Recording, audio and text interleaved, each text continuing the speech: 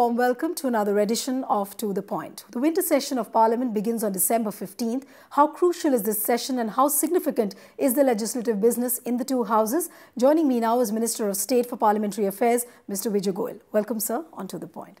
Let me begin by asking you the first question that the main overriding concern in everybody's mind is that will Gujarat polls impact the proceedings of the House? I don't see it will impact the session. It all depends upon the mood of the parliament members uh, in the session. However, in our country, every day there is an election.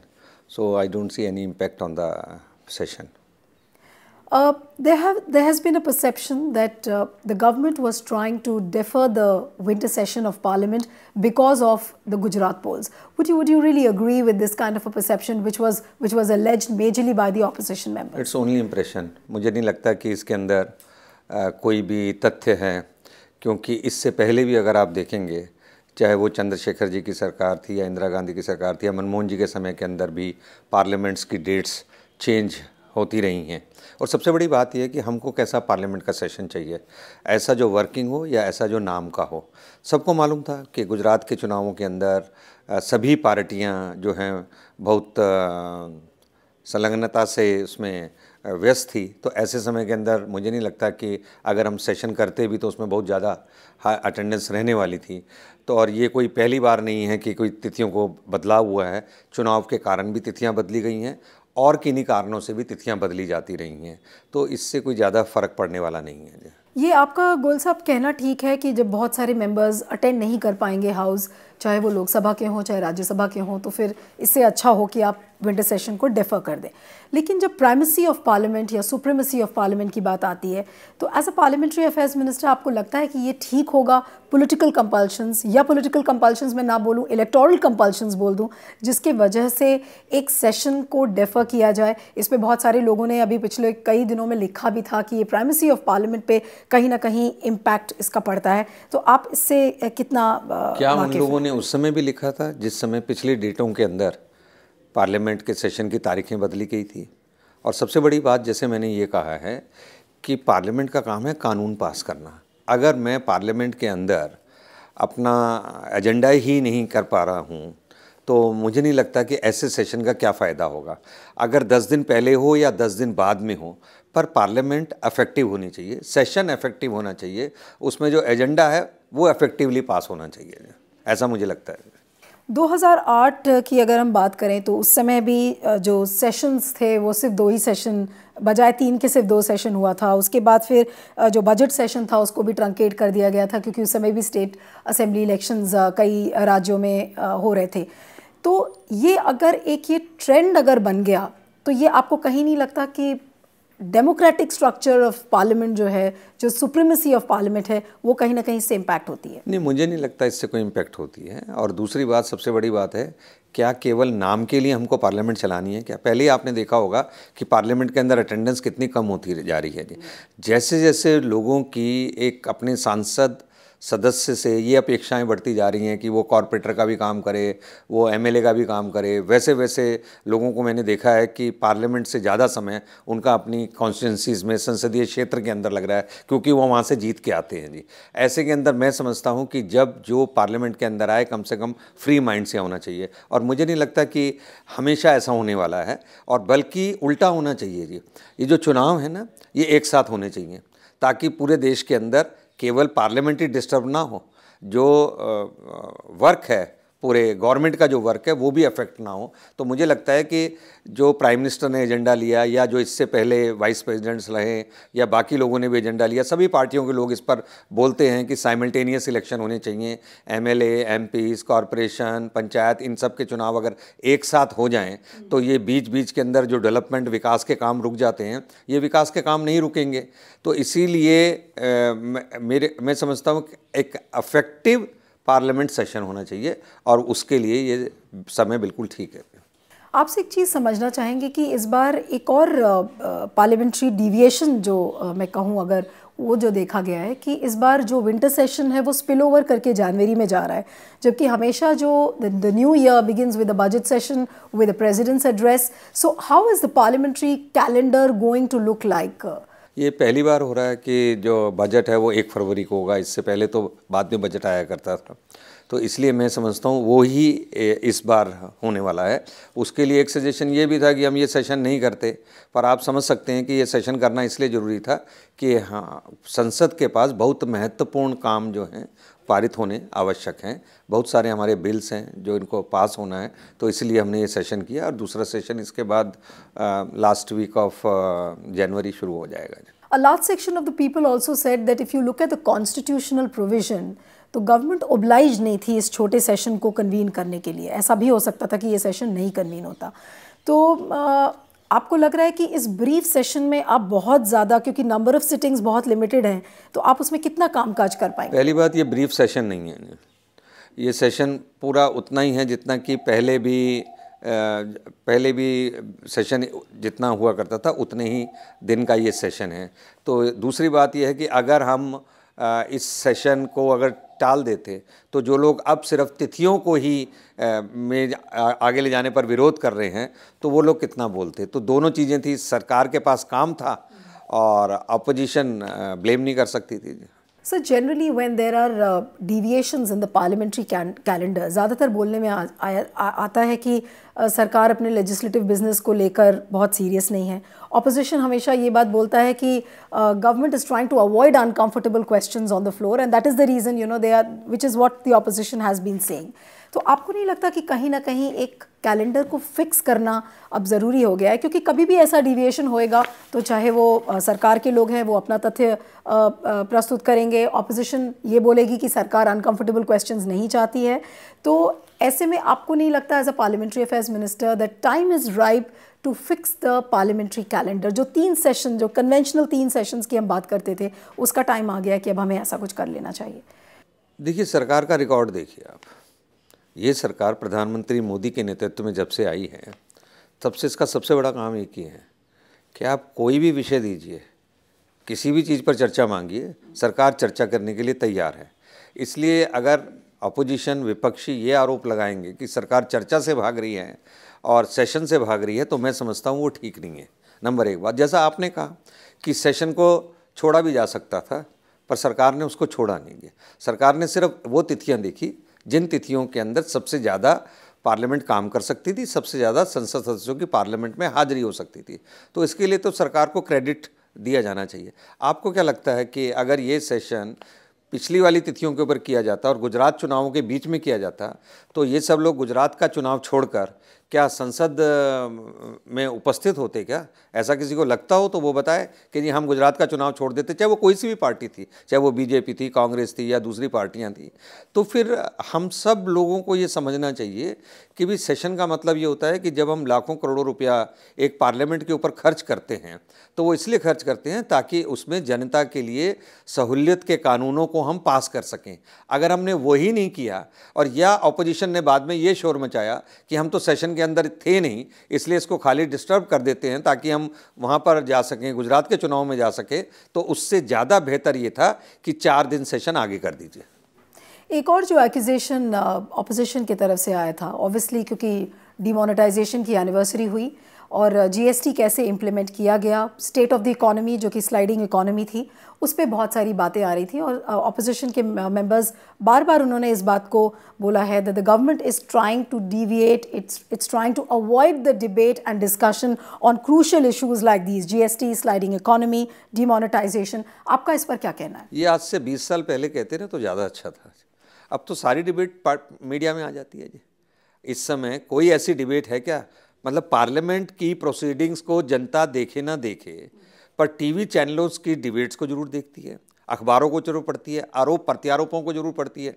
तो मैं समझता हूँ parliament के अंदर जो debate होती है, इस डिबेट की बात नहीं कर रहा मैं, जो डिबेट होती है, उससे कहीं पहले जनता को पक्ष विपक्ष दोनों के तर्कों को सुनने का मौका डिफरेंट टेलीविज़न चैनलों के माध्यम से मिल जाता है जी।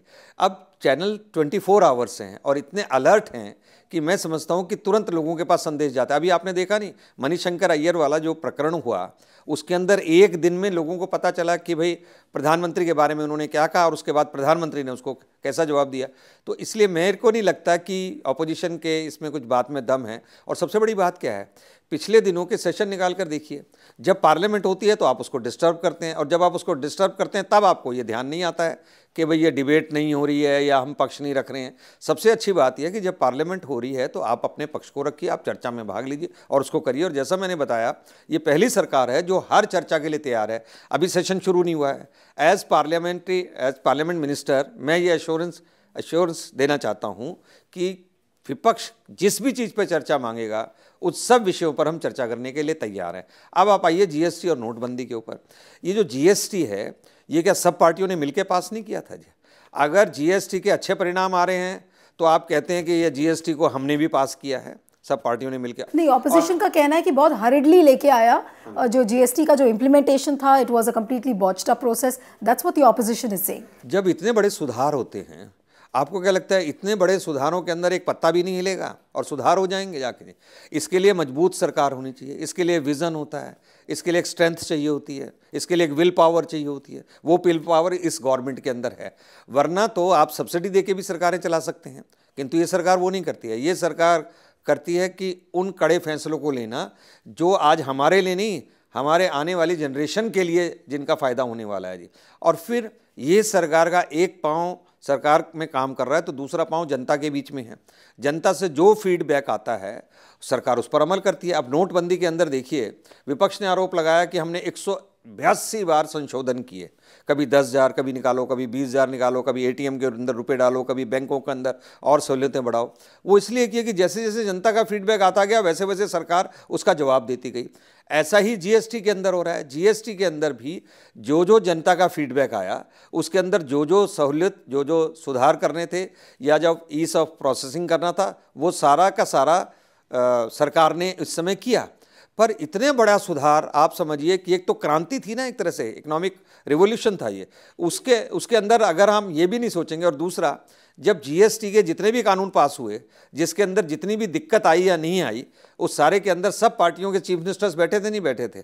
कांग्रेस के भी चीफ मिनिस्टर उसके अंदर बैठ के फैसला कर रहे थे। तो अब आप उनसे फैसलों से इसलिए भाग रहे हैं क्योंकि जब नोटबंदी के अंदर ऐसे ही नोट लंबी लंबी लाइनें लग गई तो आपको लगा शायद हम नोटबंदी के अंदर लोगों को भड़का सकते हैं। मिस्टर गोयल आप आप ठीक कह रहे हैं कि कभी भी कोई जब नया रिफॉर्म आता है तो उसके साथ टीदिंग ट्रबल्स हमेशा शुरू शुरू में होती हैं जब तक वो रिफॉर्म पूरा तरह से स्मूथ नहीं हो जाता। लेकिन एक एक्विजिशन जो और आया ऑपोजिशन की तरफ़ से उनका ये कहना था कि सरकार ये नहीं चाहती थी कि जो डिबेट और जो डिस्कशन हाउस के अंदर हो रहा है somewhere down the line it could have an impact in the mind of the voters in Gujarat और Himachal Pradesh. How far is that true? Uh, are you really convinced with this kind of an accusation which is coming uh, coming from the opposition? ये election rallies किस लिए हैं? ये election rally इसीलिए है कि आप अपनी बात को रखिए। चुनाव प्रचार किसको कहते हैं? चुनाव प्रचार इसी को कहते हैं। न्यूज़पेपर के अंदर प्रेस कॉन्फ्रेंस जब आप रोज करते हैं उसका क्या मतलब होता है? चैनल के अंदर जब आप ग्रुप डिस्कशंस करते हैं उसका क्या मतलब होता है? वो सारा ही तो डिबेट हो रही है जी। वो पार्लियामेंट की डिबेट में क्या खास बात थी? पार्लियामेंट को डिबेट को डिस्टर्ब करके ही जनता को मैसेज दिया जा सकता है क्या? क्या जनता को मैसेज अपनी चुनावी रैलियों से आप नहीं दे रहे क्या? क्या आपको मीडिया कवर कर रहा है नहीं कर रहा? या आप चैनल्स पे डिबेट्स नहीं कर रहे क्या? तो मैं नहीं समझता हूँ इसलिए इस बात में कोई दम है। But Mr Goyal I believe that the present government believes in innovative ideas, it believes. And uh, the opposition has its own point of justifying that, look, this is wrong with a, with a parliamentary calendar. Government will say that, no, we want, wanted an effective functioning of parliament and that is why we deferred. But when you look at the democracies in countries like UK, in America, they don't get affected or they don't get impacted by, by these kind of, uh, you know, uh, uh, the calendar movements, be the electoral uh, uh, movements or whatever it is. So why can't we devise a method where you have your normal functioning of parliament irrespective of whatever elections are coming in the way. Can't we devise an electoral... वो election commission को देखना था कि parliament ये election की dates को ऐसे रखते जिससे कि पार्लियामेंट डिस्टर्ब ना हो। दूसरी बात कौन सी अपोजिशन की बात कर रहे हैं आप? आप कांग्रेस की बात कर रहे हैं? तो जब इंदिरा गांधी के ज़माने में मनमोहन सिंह के ज़माने में नरसिम्हा राव के ज़माने में चंद्रशेखर जी के ज़माने में इन सब के ज़मानों के अंदर डेट्स चेंज हो गई हैं। सेशन इधर से उधर हो गया है। तब वो अपोजिशन कहाँ पर थी? तब उनसे किसने सवाल ये किए थे? अरे भाई जो वास्तविकता है जो प्रैक्टिकलिटी है उसको तो देखना पड़ेगा आपको। तो इसलिए ये तो इलेक्शन कमीशन को देखना था कि भाई पार्लियामेंट का सेशन है पार्लियामेंट का सेशन होता है वो उसके बीच में आएगा तो लोगों को इलेक्शन में कंपेन करने के अंदर दिक्कत आएगी या फिर पार्लियामेंट का सेशन अटेंड करने में दिक्कत आएगी तो नहीं रखें। तो ये उनका काम so are you are you hinting at the fact that opposition doesn't have too many issues and that is why they have started politicking on on the parliamentary calendar? तो अब आप देखेंगे तो अपोजिशन के पास कौन से इशू हैं? GST का मैंने बताया आपको। कांग्रेस कहती है जीएसटी को, हम लेकर आ रहे थे जी। आप लेकर आ रहे थे तो हम ले आए, हमने उसको पूरा कर दिया। तो आपके पास इशू क्या है? नोटबंदी आज पहली बार नहीं है। आप लोगों ने भी कोशिश की थी, आप नहीं कर पाए थे नोटबंदी को, क्योंकि अब उसके लिए बड़ा जिगरा चाहिए होता है जी। इसी तरीके से पार्लियामेंट के अंदर, उनके ज़माने के अंदर, अगर हम चर्चा मांगते थे तो वो चर्चा नहीं देते थे। हमारे ज़माने के अंदर, वो चर्चा मांगते हैं तो हम हर चीज़ को चर्चा करना चाहते हैं। तो भी उनको प्रॉब्लम्स हैं। तो यही कहा जाएगा कि अपोजिशन के पास कोई एजेंडा नहीं है इसलिए छोटे छोटे छोटे छोटे इश्यूज़ को वो उठा रहे हैं जी। अब लेजिस्लेटिव बिज़नेस की बात करते हैं। पार्लियामेंट का एक बहुत बड़ा काम है लेजिस्लेट करना नियम कानून बनाना। अभी इस सेशन में कौन कौन सी ऐसी पेंडिंग बिल्स हैं? कौन सा ऐसा क्रूशल लेजिस्लेटिव एजेंडा है जो कि आप लेकर आ रहे हैं? देखिए करीब 40 तो ऐसे बिल हैं जो लोकसभा और राज्यसभा के अंदर आएँगे। और उसमें अभी आपने देखा होगा, तीन अभी जो ऑर्डिनेंस निकले थे, उनको भी हमने लेकर आना है बिल के रूप के अंदर। और इसके अलावा जो इंपॉर्टेंट बिल्स हैं, उनमें से जो मेरे पास हैं जो राज्यसभा की अगर मैं बात करूँ तो whistle blowers protection amendment bill 2017 है, फिर फैक्ट्रीज अमेंडमेंट बिल 2016 है कॉन्स्टिट्यूशन 123 अमेंडमेंट बिल है the national commission for backward class repeal bill है द कंपनीज़ अमेंडमेंट बिल 2017 है Indian institute of management bill है तो ऐसे कई सारे बिल हैं मैं समझता हूँ जो राज्यसभा के अंदर भी कुछ पारित होने कुछ ऐसी भी बिल्स थी जैसे कि ये जो amendment to no detention policy under RT act and amendment to motor vehicles act जो कि स्टैंडिंग कमेटीज के सामने थी तो क्या उन बिल्स को भी लाने का कोई प्लान है? नहीं नहीं हम तो लाएँगे पर स्टैंडिंग कमेटीज अपनी रिपोर्ट तो फाइनल करके देंगी। तो मैं समझता हूँ कि मोटर अमेंडमेंट बिल के ऊपर भी स्टैंडिंग कमेटी बड़ी सीरियसली काम कर रही है और वो अगले कुछ दिनों के अंदर वो कर लेगी तो मुझे पूरी आशा है कि वो आ सकता है। So you are hopeful that these bills will sail through in this session yes yes okay. Uh, another question which uh, comes to my mind is that uh, looking at uh, uh, with a kind of spirit which the opposition and the government share, and especially the timing of uh, uh this crucial winter session as it comes just immediately after uh, the Gujarat goes to polls and uh, Himachal will have just finished. So, looking at that fact and the kind of the barbs which both opposition and the governments have exchanged, do you think that you will be hopeful of having a very smooth sailing session or you're expecting that the session is really going to be stormy? देखिए, parliament minister को हमेशा hopeful होना चाहिए, है ना? और मैं ये आशा करता हूँ कि पार्लियामेंट का सेशन अच्छा चलेगा जी। चुनाव में तो हार जीत होती है जी। कोई पहली बार तो लोग हारते नहीं हैं या पहली बार तो कोई लोग जीतते नहीं हैं। तो इसलिए मुझे लगता है कि और हमारे देश के अंदर तो हर दो महीने के अंदर एक चुनाव आ रहा है जी, और उसके बाद पार्लियामेंट सेशन भी होता है।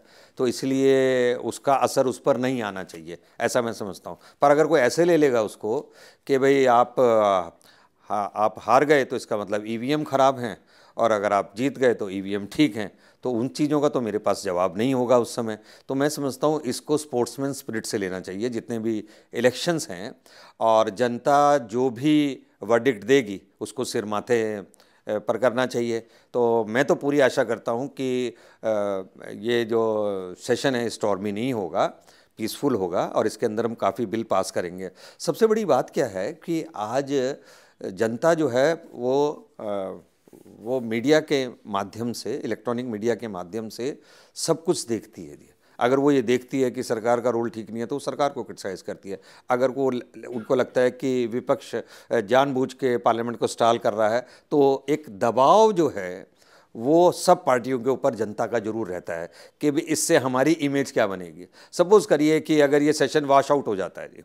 तो डेफिनेटली जनता को ये सोचने पे होगा कि किन की गलतियाँ हैं, किसकी गलती नहीं है, सरकार की गलती है या अपोजिशन की गलती है। तो इसीलिए मैं समझता हूँ कि जब हम अपोजिशन में थे, हमारे ऊपर भी एक दबाव रहता था। और अब ये अपोजिशन में तो उनके पास भी दबाव है। और मैं समझता हूँ एक देश के प्रति हमारी रिस्पॉन्सिबिलिटी भी है कि हमको जिस काम के लिए पार्लियामेंट में भेजा गया है, और पार्लियामेंट का काम है डिबेट करना। तो ऐसा हम कोई मौका नहीं देंगे जिसके अंदर ये सेशन स्टॉर्मी हो। लेकिन सरकार कितनी तैयार है? क्या आप लोगों को ये आइडिया आपने लगा लिया है कि ऑपोजिशन कौन कौन से इश्यूज़ इस सेशन में उठाएगा और उनको फाइट आउट करने के लिए उनको बैटल आउट करने के लिए क्या स्ट्रैटेजी गवर्नमेंट की रहेगी? How will you reach out to the opposition opposition of course will raise the issues but how will you reach out to the opposition members देखिए इस गवर्नमेंट ने तीन साल के अंदर काम किया है। देश के अंदर डेवलपमेंट की है। गवर्नमेंट के पास बहुत कुछ बताने को है कि उन्होंने क्या क्या क्या किया है, किस वर्ग के लिए और क्या किया है। दूसरी बात, गवर्नमेंट के ऊपर किसी तरह का कोई करप्शन के चार्जेस नहीं हैं। तो मैं समझता हूँ कि अपोजिशन का भी काम है कि इश्यूज़ को रेज़ करना। तो अपोजिशन कोई जीएसटी उठाएँगे, कोई मान लीजिए नोटबंदी उठाएँगे, वही जो पब्लिक डोमेन के अंदर जो सारे इश्यूज़ चल रहे हैं, वो सारे इश्यूज़ जो हैं वो उठाए जाएँगे तो सरकार इसके लिए तैयार है। पार्लियामेंट में अपोजिशन अगर चर्चा चाहेगी, और मैं समझता हूँ चर्चा चाहनी चाहिए और उस पर चर्चा होनी चाहिए। मनी शंकर अय्यर, जो कांग्रेस के सीनियर लीडर हैं, उन्होंने अभी एक remark prime minister Narendra Modi पर किया था।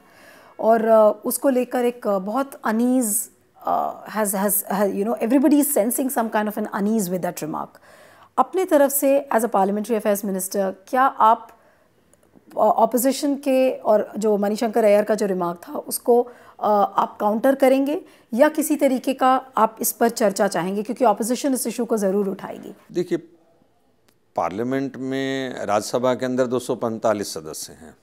कोई भी संसद किसी चीज़ पर भी मामले को उठाना चाहे चाहे वो विपक्ष से हो या गवर्नमेंट से हो, और उस पर चर्चा चाहे तो ये उस समय देखा जा सकता है। जहाँ तक मनिया शंकर अय्यर जी का सवाल था उसके ऊपर कांग्रेस ने आ, उनको पार्टी से निलंबित भी कर दिया है। तो कांग्रेस ने एक तरह से ये माना है इस बात के लिए कि उनका जो रिमार्क था वो अच्छा नहीं था और ख़ास तौर से प्राइम मिनिस्टर के लिए इस भाषा का प्रयोग करना। तो सवाल ये है कि जो हम कहते हैं उसको हमको करना भी चाहिए जाकर करना भी चाहिए। हम कहते ही हैं कि हम प्राइम मिनिस्टर का आदर करते हैं हम कहते ही हैं कि हम चाहते हैं चर्चा हो हम चाहते कहते हैं कि हमारी डेमोक्रेसी के अंदर विश्वास है। तो फिर आपके एक्शंस में भी वो दिखाई देना चाहिए तो जहाँ तक पार्लियामेंट है, वो तो सब लोगों के लिए चर्चा का एक फोरम है, जिसमें किसी भी संसद सदस्य को ये आज़ादी है कि वो जिस भी चीज़ को नियमों के अनुसार रखना चाहे तो वो रख सकता है। नहीं इसमें मनमोहन सिंह जी ने भी खंडन किया है कि गवर्नमेंट ने एक जो एक पीएम का ऑफ़िस है जो पीएम का इंस्टीट्यूशन है उसकी मान और मर्यादा नहीं रखी है। एक ऐसा कमेंट मनमोहन जी की तरफ़ से भी आया है। मनमोहन सिंह जी हमारे पूर्व प्रधानमंत्री हैं। उनको हर बात कहने का अधिकार है और मैं समझता हूँ उनके बाद सरकार की तरफ़ से भी उसका जवाब दिया गया है। तो आप इस पर चर्चा के लिए तैयार हैं? आप इस पर डिस्कशन के लिए भी तैयार मैंने आपको पहले ही बताया जी ये पहली सरकार ऐसी है जो हर विषय के ऊपर चर्चा के लिए तैयार है। बिशर्ते कि विपक्ष उस चीज़ पर चर्चा करे और दोनों तरफ़ से ऐसा मौका मिले अपनी बात को रखने का, तभी लोकतंत्र की और तभी संसद की सार्थकता है। आपने लोकतंत्र और संसद की बात की उपराष्ट्रपति श्री वेंकैया नायडू जी ने कल एक टेन पॉइंट चार्टर दिया है, जिसमें से उन्होंने कई चीज़ों का ज़िक्र किया था कि सजेशन है वो, एक सजेशन कि आप कैसे पार्लियामेंट की इंटेग्रिटी और सॉवरेनिटी को मेंटेन कर सकते हैं, उसकी लेजिस्लेचर्स को और कामकाजी कैसे बनाया जा सकता है। And this includes a quorum for non ruling parties daily notification of disruptors automatic suspension of those rushing into the well of the house तो बीजेपी बहुत सारे स्टेट्स में पावर में है और बहुत सारे स्टेट्स में वो ऑपोजिशन में है। तो ये जो ten point charter Venkaiah Naidu ji की तरफ़ से आया है, इस पर आपका क्या मानना है? जो वेंकैया जी ने कहा, अगर मेरे से पर्सनली पूछो तो ऐसा लगता है वो मेरा चार्टर है। क्योंकि मैं अब फोर्थ टर्म मेंबर हूँ, तीन बार मैं लोकसभा का मेंबर रहा हूँ, अब मैं राज्यसभा का मेंबर हूँ। और मेरी हमेशा से ये इच्छा रही है कि भी जो भी वेल के अंदर जाए, है ना जी, वो या तो सस्पेंड हो जाए या नेमिंग हो जाए या जो भी जो भी उसके लिए कानून बनाना हो, रूल, रेगुलेशन बनाना हो, वो बनाया जाएगा इसलिए आज तक मैं कभी वेल में नहीं गया।